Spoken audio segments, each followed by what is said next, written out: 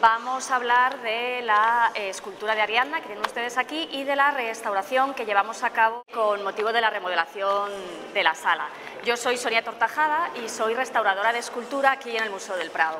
Esta escultura no siempre ha sido identificada como Ariadna. Si se fijan ustedes, aquí en el brazo tiene un brazalete con forma de serpiente, entonces su primera identificación fue eh, como Cleopatra. También se ha identificado esta obra como una Ménade que está tumbada, ya exhausta. Esta postura así tan característica es una postura que se repite mucho en la antigüedad, que eso quiere decir durmiente, que está dormida, y que estaría exhausta después del éxtasis del culto dionisíaco. Si se fijan ustedes en las salas contiguas que son de escultura clásica, tenemos bastantes ménades que son en forma de relieve y verán realmente la similitud que hay entre esta escultura y esos relieves. Pero la identificación correcta, la definitiva, es la de Ariadna. ¿Y quién era Ariadna? Bueno, pues Ariadna lo que representa esta escena es Ariadna tumbada sobre las playas de Naxos, estas serían las arenas y las espumas del mar, y que está recostada eh, después de que Teseo la abandona por su aventura con el Minotauro. Y es precisamente en las playas de Naxos donde Dionisos, que es este señor que tenemos aquí, la encuentra y la hace su esposa. Esta es una escultura romana que data, está datada entre los años 150 y 175 después de Cristo, es decir, desde el segundo siglo después de Cristo. Y eh, es parte de la colección de escultura clásica de Cristina de Suecia. Cristina de Suecia es una mujer bastante importante para las colecciones, sobre todo de escultura del, Museo del Prado. Ella eh, fue siempre una gran mecenas de las artes, tenía una magnífica biblioteca, coleccionaba pinturas, también tenía monedas, tenía tapices y tenía una grandísima colección de escultura clásica que compró sobre todo ella cuando abdica, se instala en Roma y eh, empieza a comprar un montón de, esculturas clásicas recuperadas arqueológicamente del mercado de antigüedades. ¿Cómo llegan estas obras a España y en particular estas? Eh, cuando los reyes Felipe V y Isabel de Farnesio llegan a España, se construyen un palacio nuevo en La Granja y se les sugiere, el pintor Procaccini, que era el que estaba como a cargo de la decoración, que por qué no compraban escultura romana clásica porque era un tipo de obra que en España no se había coleccionado hasta entonces, entonces resultaba bastante exótico. Y se compra la colección entera de Cristina de Suecia que además también se añadían las colecciones de esos herederos. Por ejemplo, las musas, el diadúmeno, que es una de las mejores copias de Policleto que hay, el grupo de Ildefonso, que es también una de las joyas de escultura clásica. Y en esta misma sala, por ejemplo, el Antino, que está aquí, era de Cristina de Suecia, y la Venus del Delfín y la Venus del Pomo también eran suyas. Entonces llegan a España y entran a formar parte, evidentemente pues fueron a la granja, luego algunas fueron a Aranjuez, Palacio Real, hasta que se funda el museo y vienen a los fondos del museo. El año pasado, como sabíamos que esta sala se iba a remodelar, eh, nos planteamos la intervención de la obra. Ya que había que moverla, pues dijimos, bueno, pues vamos a aprovechar a hacer una restauración. ¿Cuál era el estado de la obra y por qué nos planteamos restaurarla? Bueno, lo primero de todo es que esta obra ha estado siempre expuesta. Entonces, toda la obra que está expuesta durante largo tiempo suele presentar una capa de, suciedad superficial, de exposición y, sobre todo, presentaba eh, recubrimientos antiguos, restos de ceras muy alterados que enmascaraban lo que es todo el aspecto de la piedra. Entonces, el primer objetivo de la restauración fue limpiarla se limpió toda la superficie para poder recuperar el aspecto de la piedra. Por ejemplo, eh, el hecho de eliminar estas ceras eh, nos ha ayudado a recuperar una característica del trabajo original del autor que antes no veíamos, que por ejemplo, este pie que es original se ve muy bien cuando contacta el pie con los ropajes, el pie, las carnaciones tienen, es decir, toda la parte del, del pecho ese que es original, la cara, tiene un pulimento muy fino muy fino, un trabajo de acabado muy fino que hasta incluso le da al mármol un aspecto translúcido. Sin embargo, en los ropajes no se le dio el mismo tratamiento de pulimento para que haya diferencia entre lo que es carne y no. ¿Qué es lo que pasa? Que como esto estaba todo cubierto de cera de manera uniforme, la cera pulida de manera uniforme y además de todo el polvo, esos detalles, por ejemplo, no los percibíamos. La segunda faceta de la restauración y la más importante es que esta obra está muy fragmentada, está compuesta de muchísimos fragmentos es algo típico de nuestra colección real de, la época. Cuando Cristina de Suecia empezaba a coleccionar obras, eran obras procedentes de excavaciones arqueológicas. Uno ya se puede imaginar que cuando se pone a excavar en una excavación es muy difícil que le salga una Ariadna completa. Normalmente lo que encuentras son obras fragmentadas. ¿Y qué es lo que se rompe? ¿Qué es lo que se fragmenta primero? Pues normalmente lo que más sobresale, pues brazos, la nariz, los pliegues, en este caso, porque está tumbada, pero en una de estas eh, que están de pie, que pasa exactamente lo mismo, pues los brazos, las rodillas. Hoy en día tú encuentras una obra en una excavación arqueológica, imagínense una Venus, sin cabeza, sin brazos y sin piernas, y ese objeto tiene sentido museable, es decir, tú ese objeto, ese fragmento lo pones en un museo arqueológico y ya está, no hay que hacerle más. Pero eso es el gusto o el criterio o la tendencia del siglo, de la época moderna. En el siglo XVII eso no era así, eso era un objeto roto. Entonces, el criterio de restauración de aquellos entonces era que se contrataba a los mejores escultores de época para que eligieran mármol lo más parecido posible e hicieran todo lo que faltaba porque si no era un objeto desmembrado. Entonces, en este caso, este es el caso de la Ariadna, desde luego, y de todas las que ven ustedes aquí, y además en este caso es excepcional porque sabemos quién hizo esas reconstrucciones. Esta obra se completó hacia 1670 en el eh, taller de Bernini por dos de sus discípulos más destacados. Y de hecho, de esta época son eh, parte del brazo que pasa por encima de la cabeza con la mano, el otro brazo que está apoyado en la tierra desde el codo, también la mano y los dedos. La mascarilla de la cara es la frente con los ojos, la nariz y el mentón. Tiene retocados los dos pechos, algún pliegue de por aquí, este pie es postizo y también por detrás, en la zona de la rodilla, también hay unos fragmentos.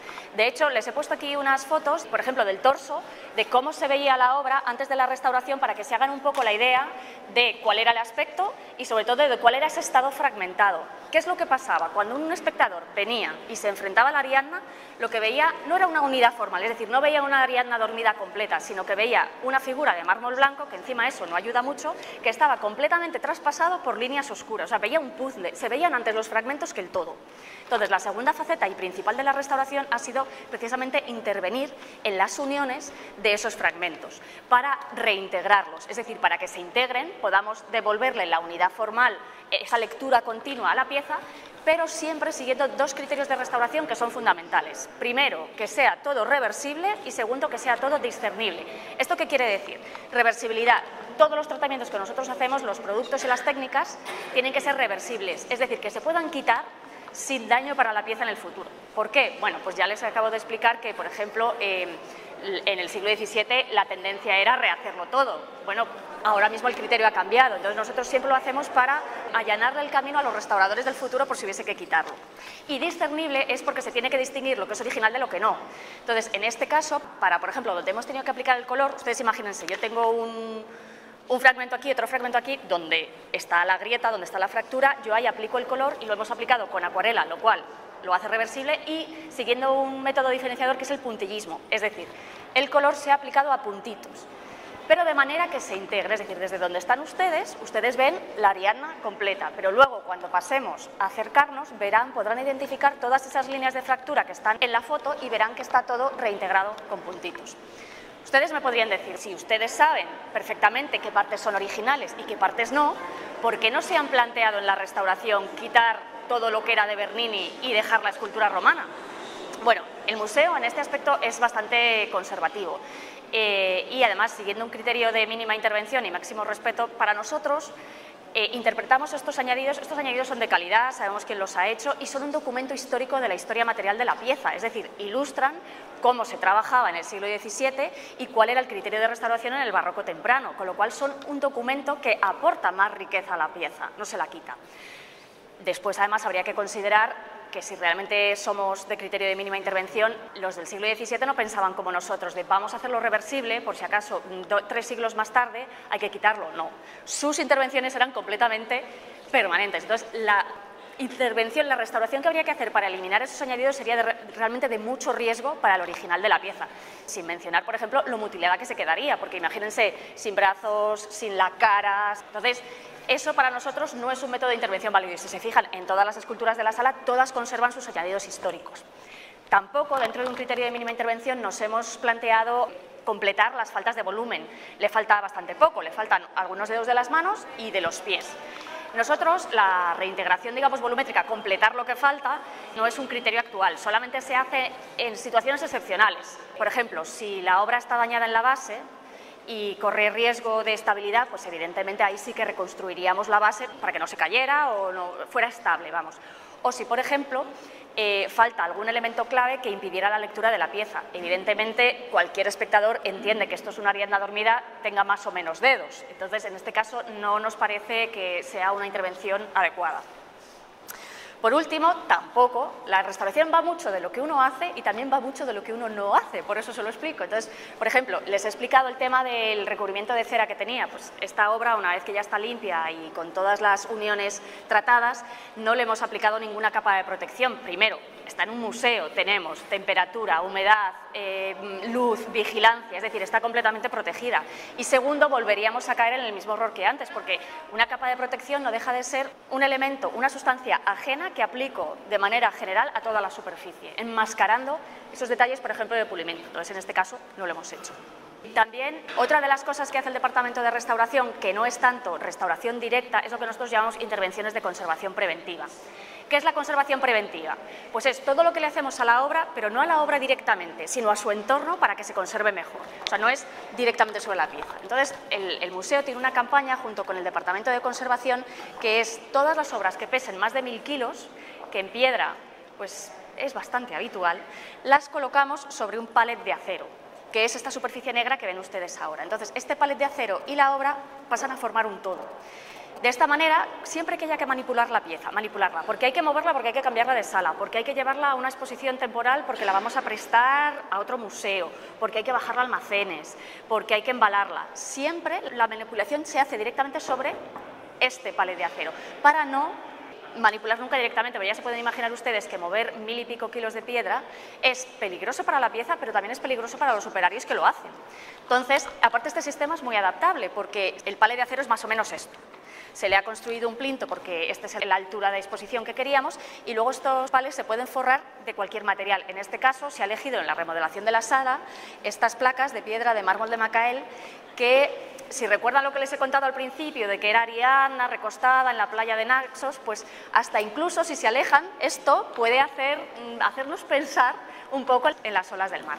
Entonces, bueno, la restauramos, empezamos en octubre del 2010 y terminamos en septiembre del 2011, casi un año porque estaba, bueno, tenía mucho trabajo, la obra es muy grande y la verdad es que ha sido un disfrute eh, sacarla a la luz y espero que ustedes también la disfruten y de verdad que les invito a verla ahora un poco más de cerca, unos minutos más hasta que quitemos los, los caballetes.